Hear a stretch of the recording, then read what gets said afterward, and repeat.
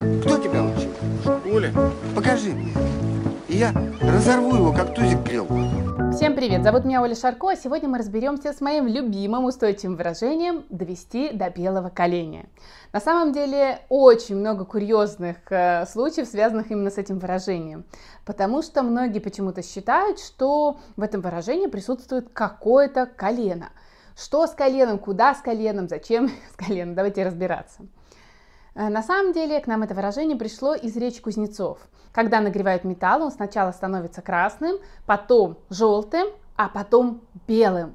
То есть белый цвет – это максимальная степень нагрева металла, после которого он, по-моему, уже начинает плавиться. Поэтому коление – это значит накаливание, да? довести до белого коления – это значит уже вот вы человека довели до такого состояния, что вот он уже прям вот сейчас взорвется. Надеюсь, вы теперь будете употреблять правильно данное выражение. Ну и, конечно же, желаю, чтобы вас никто никогда не доводил до белого коленя.